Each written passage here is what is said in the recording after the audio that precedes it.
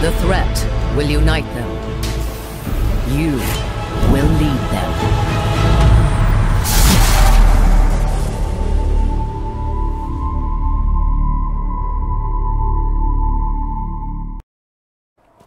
Es ist ja nicht so wie bei Dragon Age Origins und dann würde ich sagen, dass man dann ab, ab da einem Zeitpunkt, wenn man eine andere Burg sind, vielleicht ander, das muss dann anders machen. Also Kallen. Die Magier sind bereit, sich der Bresche anzunehmen. Ich hoffe, es genügt, um sie zu schließen. Gebt den Ma Magiern eine Chance. Ich weiß, es beunruhigt euch, dass die Magier hier sind. Aber gebt ihnen eine Chance, sich zu beweisen. Ich stelle weder ihre Fähigkeiten noch ihre Absichten in Frage. Aber wir dürfen die Risiken einfach nicht ignorieren. Ich werde das Bündnis, das ihr geschmiedet habt, nicht gefährden. Wir brauchen ihre Hilfe. Jegliche Vorsichtsmaßnahmen, die wir ergreifen, dienen allein der Sicherheit unserer Leute und auch der Magier selbst. Nichts anderes. Hm, das wäre jetzt erstmal wäre alles. alles. Ich bin mir sicher, ihr habt noch genügend andere Dinge, um die ihr euch kümmern müsst. Och, Kerle.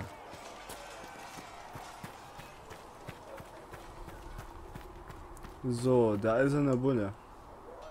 Also, Carlos Tevinter hat euch in die Zukunft geschickt? Tevinter Magie geht zu weit. Ich habe kein Problem mit normaler Magie, aber was der Winter tut, ist einfach Irrsinn. Ja, ich weiß. Die Winds müssen es immer übertreiben. Wie auch immer. Ich hoffe, unsere neuen Freunde sind in der Lage, die Bresche zu schließen.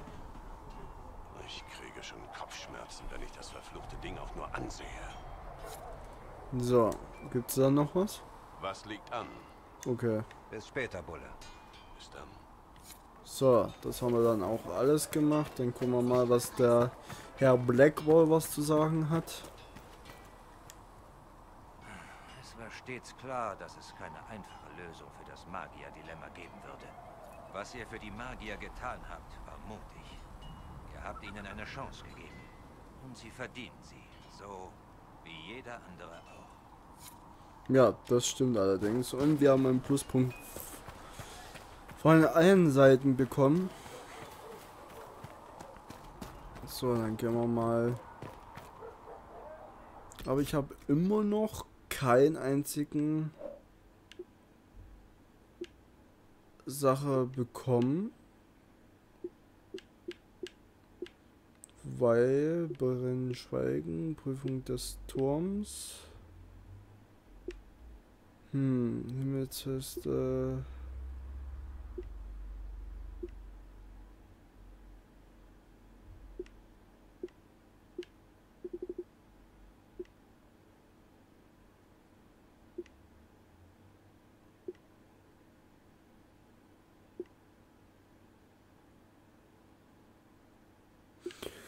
Also, äh, soweit ich das jetzt weiß, müssen wir mal kurz gucken. Sorry Leute, dass ich jetzt euch mit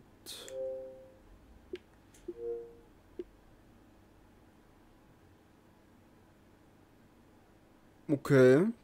Wir haben den Erfolg schon. Was haben wir heute? Den dritten, zweiten. Das ist äh, die, ähm, diesen Dings, den dritten, siebten haben wir ihm freigeschaltet. Das heißt, jetzt ähm, haben wir es natürlich leider den Erfolg so nicht bekommen. Das ist der Erfolg, den ich mit euch gemacht habe. Und ich habe ja noch eine weitere Prüfung aufgemacht. Und ja, nur dass ihr das mal kurz wisst. Sorry, dass ich euch jetzt meine Xbox gezeigt habe, mein Dings. Wollte euch noch mal kurz den Erfolg mal kurz zeigen. Alles, was ihr entbehren könnt, hilft So, s- gucken wir mal, was das Sacred dazu sagt. Ah, ihr seid wach und Lady Cassandras Fängen entkommen. Und ich, Idiot, hab diesem Klingenohr Geld gegeben, damit er mich informiert, sobald ihr frei seid. Egal, egal. Sagrid, sehr erfreut, euch kennenzulernen.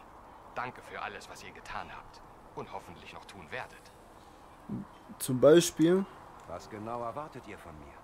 Ich habe gehört, wenn jemand dieses verfluchte Ding am Himmel schließen kann, dann seid ihr das.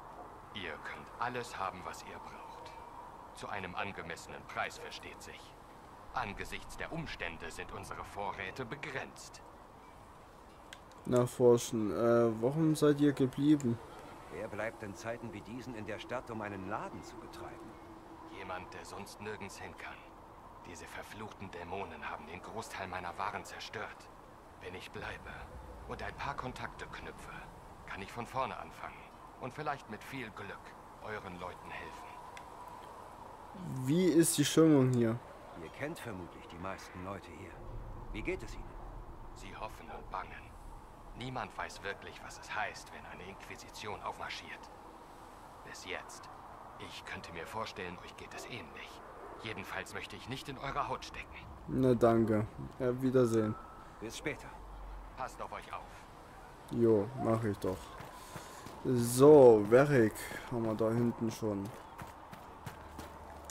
Die aufständischen Magier schließen sich der Inquisition an. Ich muss zugeben, mit dieser Wendung hatte ich nicht gerechnet. Eine Sache, die ihr in der Zukunft gesehen habt, macht mir Sorgen. Ich meine, es war alles übel. Aber rotes Lyrium in Ferelden, das Leute befällt und aus ihnen herauswächst, das ist schrecklich.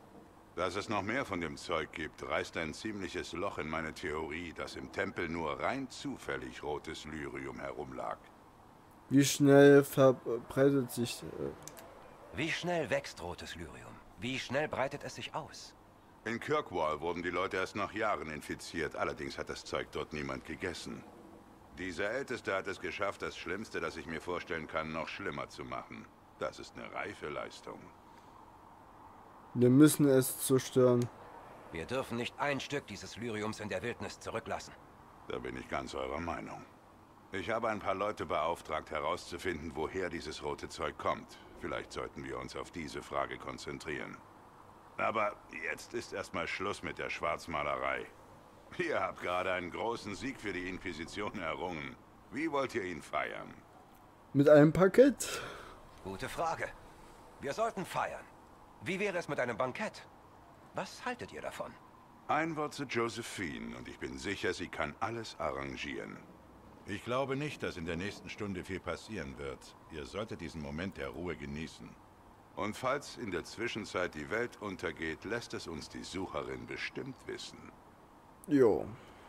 Glaube ich auch langsam. So.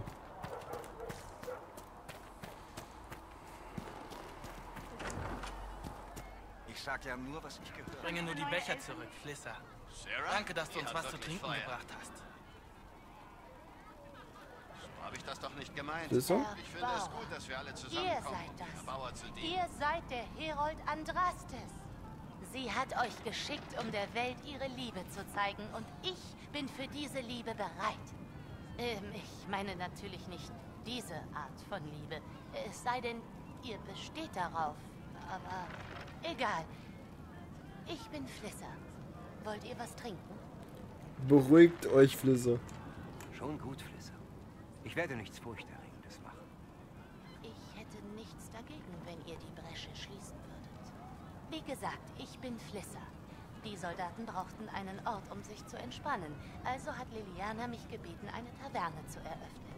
Nichts Besonderes, aber für die Soldaten wesentlich sicherer, als sich in irgendeinem Dorf Ärger einzuhandeln. Woher kennt ihr Liana? Ihr habt gesagt, Leliana hätte euch gebeten, eine Taverne zu eröffnen. Wie habt ihr euch kennengelernt? Das war reiner Zufall. Ich habe früher mal ein Gasthaus in Denerim geführt. Wenn ich interessante Gerüchte hörte, habe ich sie Liliana erzählt. Und einige davon waren wohl ganz nützlich. Als sie mich irgendwann fragte, ob ich gerne meine eigene Taverne hätte, habe ich ja gesagt. Mir war ja nicht klar, dass sie diese hier meinte. Okay, Wiedersehen. Lebt wohl. Wiedersehen. So. Selber. Hm. Magier, soweit das Auge reicht. So viele Roben. Ich wette, es gibt in ganz Ferelden keine Vorhänge mehr. Ich bleibe lieber auf der anderen Seite von Haven. Sicher ist sicher. Sie wollen uns helfen. Ihr, oder ihr mögt keine Magier? Habt ihr ein Problem mit unseren neuen Verbündeten? Mit Magiern? Ich habe kein Problem mit Magiern. Ein paar von denen sind wirklich in Ordnung. Mein Problem ist die Magie. Würden die Magier die Füße stillhalten, wäre alles bestens. Ich meine, Juhu, Freiheit. Schön für Sie, da drüben. Weit weg von mir. Oh je, die arme, äh, die, die Ich komme macht wieder, ja wirklich. brauche. Nur zu. So.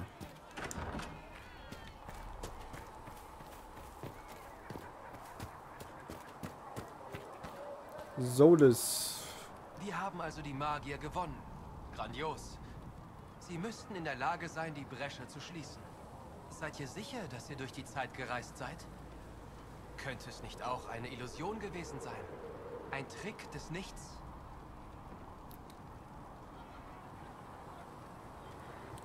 Was hätte das für einen Sinn? Ihr denkt, Alexius hat eine Illusion seines eigenen Lebens erschaffen, das in Flammen aufgeht? Der Punkt geht an euch. Was für eine bemerkenswerte Gabe. Es ist wichtig, dass die Inquisition siegt, um die Zukunft abzuwenden, die ihr gesehen habt. Hm.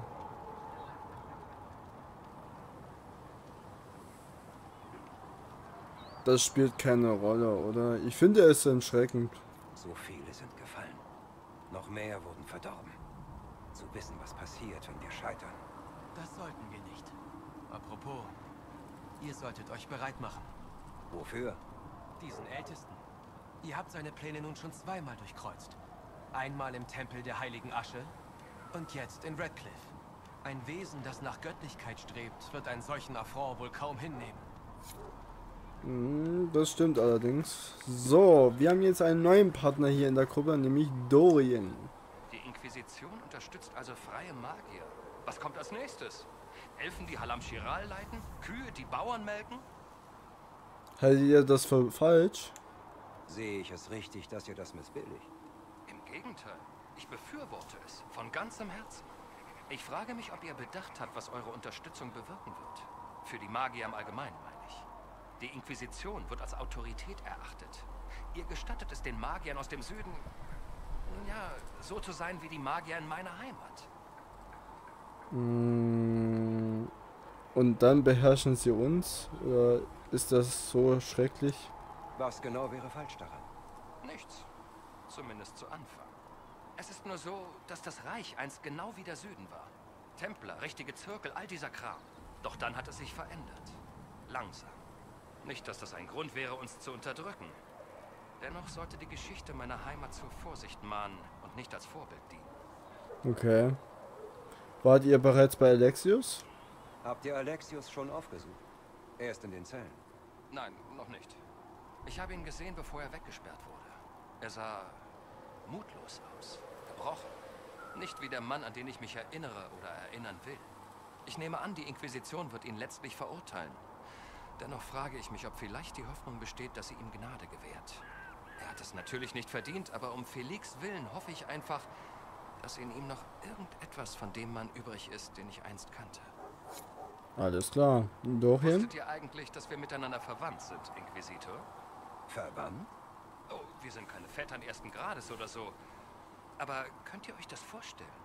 Ihr seid ein Trevelyan und irgendwo in den düstersten Winkeln meines Stammbaums gab es ebenfalls einen Trevelyan. Vielleicht war er ja sogar derjenige, der sich nach Ostwick gewagt hat, um diesen Zweig der Familie zu gründen. Das war natürlich vor ewigen Zeiten. Woher wisst ihr das überhaupt? Und so etwas wisst ihr aus dem Kopf? Natürlich aus dem Kopf. Oder dachtet ihr vielleicht aus dem Bauch? Stammbäume sind für den Winter eine ernste Angelegenheit. Man erhält Unterricht und wird abgefragt von äußerst strengen Kinderfrauen. Ich habe gehört, wie eure Familie erwähnt wurde und musste all meine alten Eselsbrücken durchgehen. Und dann hatte ich es. Ich wusste, es gibt einen Grund, warum wir uns so ähnlich sehen. Ja, gut zu wissen. Man lernt doch jeden Tag etwas Neues. Ja, nicht wahr? Als wäre man in einer gut sortierten Bibliothek. Vorausgesetzt, man ist nicht derjenige, der die Regale auffüllt. Okay, nachforschen. Erzählt mir von euch. Mir ist klar geworden, dass ich kaum etwas über euch weiß. Ihr meint, abgesehen davon, dass ich ein Magier aus Tevinter bin? Ja, abgesehen davon. Und abgesehen davon, dass ich so charmant und gut gekleidet bin? Was natürlich für jeden offensichtlich ist. Wenn ihr meint. Ihr habt auf jeden Fall eine hohe Meinung von euch. Das ist wahr. Ich könnte sicherlich bescheidener sein, aber dann würde ich lügen. Also, worüber hatte ich gerade gesprochen? Ach ja, über mich. Ich bin der Spross des Hauses Parvis, das Ergebnis ganzer Generationen sorgfältigster Züchtung und der Quell all seiner Hoffnungen und Träume. Natürlich habe ich das alles verachtet. Die Lügen, die Intrigen, die Illusionen von Überlegenheit. Das ist die Essenz Tyrwinters, nicht wahr? Unnötig zu sagen, dass meine Familie über meine Entscheidungen nicht gerade glücklich war. Mm. Eure Familie ist äh, verärgert? Warum sollte eure Familie über eure Entscheidung verärgert sein? Weil ich ihre großen Pläne durchkreuzt habe. Wäre es nach ihnen gegangen, wäre ich inzwischen mit irgendeinem bedauernswerten Mädchen aus einer mächtigen Familie verheiratet. Wir würden in feudaler Verzweiflung leben und einander verachten, während ich darauf wartete, den Platz meines Vaters im Magisterium einzunehmen. Ich habe diese Ehre abgelehnt, weshalb es auch das Beste ist, dass ich weit von zu Hause weg bin. So gibt es weniger Peinlichkeiten, versteht ihr? Ihr mögt den Winter nicht? Ich habe den Eindruck, ihr mögt euer Heimatland nicht sonderlich. Im Gegenteil. Ich mag mein Heimatland sogar sehr. Es hat ein unglaubliches Potenzial. Doch bedauerlicherweise vergeuden wir es. Wir weigern uns zu erkennen, wie tief wir gefallen sind, weil es leichter ist, sich etwas vorzugaukeln. Wir gaukeln uns vor, die Kunari könnten besiegt werden. Wir gaukeln uns vor, wir wären allen anderen überlegen, selbst unserem eigenen Volk. Nicht alle empfinden so. Ich tue es nicht. Doch leider sind wir die Minderheit. Aber warum mögt ihr es? Es ist nur... So vieles, was ihr über das Reich sagt, wirkt gänzlich negativ. Es mag vielleicht so klingen, aber trotz all unserer Fehler besitzt mein Volk auch zahlreiche Tugenden. Wir sind enorm reich an Geschichte und Kultur. Vergesst nicht, dass es Tevinter ist, wo Thedas wahrhaftig begann. Wir schätzen unsere Vergangenheit und bewahren sie. Es gibt Nebenstraßen, in denen man nichts findet, das in modernen Zeitaltern erbaut wurde. Und entgegen dem Anschein haben wir auch Empfindungen. Tiefe Empfindungen. Für alles. Wir halten uns nicht zurück, weder im Krieg noch in der Liebe. Wenn ich tatsächlich der Meinung wäre, es gäbe für meine Heimat keinerlei Hoffnung mehr, würde ich sie nicht so sehr vermissen. Hm, okay. Warum geht ihr nicht zurück? Wieso bleibt ihr dann bei der Inquisition, anstatt nach der Winter zurückzukehren? Ich bin zu Hause nicht unbedingt willkommen. Nicht, dass das eine Rolle spielen würde. Ich bin daran gewöhnt, ein Ausgestoßener zu sein. Es ist Teil meines Charmes. Ich kann mehr für Tewinter tun, wenn ich hier bin. Wenn die Venatori Erfolg haben, wirft das mein Heimatland um tausend Jahre zurück. Ich bin mir sicher, einige Magister würden das anders sehen. Aber darum vernichten wir sie ja. Sorgfältigster Züchtung? Was meintet ihr mit Generationen sorgfältigster Züchtung? Die bedeutenden Familien Tewinters bekommen nicht einfach Kinder. Sie veredeln Eigenschaften, rotten die Unerwünschten aus und fördern den Rest. Meine Mutter wurde für meinen Vater ausgewählt, weil die Magie in ihrem Blut stark ist. Dass wir einander gehasst haben, war unerheblich. Sie wollten einen Sohn, der Archon werden könnte und dem Haus Pavis den Neid des gesamten Reiches einbrächte. Und wen haben sie bekommen? Mich. Eine Geschichte, die einen lehrt, dass man mit seinen Wünschen vorsichtig sein sollte. Das genügt vorerst. Ich glaube, ich habe genug gehört. Wie bedauerlich. Ich werde niemals müde, über mich selbst zu sprechen. Erzählt mir vom Reich. Ich möchte euch etwas über Tewinter fragen. Ah, nun, es ist schon erstaunlich, wie fasziniert jedermann außerhalb des Reiches davon ist. Vielleicht erfinden sie ja deshalb so viele lächerliche Geschichten. Fliegende Kühe über Minrathus? So ein Unsinn. Na schön, diese Geschichte ist tatsächlich wahr. Allerdings hatten die Kühe keine Flügel. Aber ich schweife ab. Gibt es etwas Bestimmtes, das ihr wissen wollt? Nachforschen. Ähm, was ist mit der Sklaverei? Jeder, der über das Reich spricht, erwähnt auch die Sklaverei. Es ist das Zentrum des Sklavenhandels. Um, das ist wahr. Und? Hattet ihr Sklaven? Ich nicht, aber meine Familie und sie behandelt sie gut. Um ehrlich zu sein, habe ich nie viel darüber nachgedacht, bevor ich in den Süden kam. In meiner Heimat ist es... Naja, wie... Sklaven sind überall. Man hinterfragt es nicht. Ich bin mir nicht einmal sicher, ob viele Sklaven es tun. Äh, wollt ihr sagen, sie mögen es? Ihr denkt, es gefällt den Sklaven? Macht euch nicht lächerlich. Ich habe nicht gesagt, dass es ihnen gefällt. Die meisten von ihnen kennen nur nichts anderes. Ihr im Süden habt Gesindeviertel, Elendsviertel. Sowohl der Menschen als auch der Elfen. Und es gibt keinen Ausweg für die Verzweifelten. In meiner Heimat kann sich ein Armer selbst verkaufen. Als Sklave könnte er eine angesehene Stellung haben und sogar eine Familie ernähren. Manche Sklaven werden schlecht behandelt, das stimmt. Aber denkt ihr wirklich, Armut ohne jegliche Hoffnung auf einen Ausweg wäre besser? Vermutlich nicht. Ich schätze nicht, nein. Es stimmt. Ich weiß nicht, wie es ist, ein Sklave zu sein. Ich habe nie darüber nachgedacht, bis ich gesehen habe, wie anders es hier ist. Und ich nehme an, dass auch ihr es nicht wisst. Ihr solltet nicht glauben, dass die Geschichten über die Unmäßigkeit Winters die Regel bilden. Okay, nachforschen. Äh, ist die Blutma Blutmagie